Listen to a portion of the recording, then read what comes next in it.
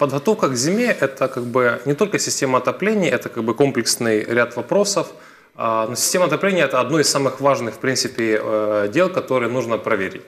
А, у нас э, коммунальным предприятием э, теплосетью проводятся гидроиспытания, то есть это в, после отопительного сезона, перед отопительным сезоном добавляется давление, чтобы понимать, что в, в системе, насколько она выдержит зимние, зимние нагрузки и зимнее давление. Вот в этот период рекомендуется, ну, во-первых, посмотреть, когда в вашем районе будет эта проверка на, через сайт теплосети, чтобы вдруг, если у вас где-то там открыто какие-то там задвижки, краники, у вас, к сожалению, будет авария, потому что поднимется давление, что-то вас вырвет.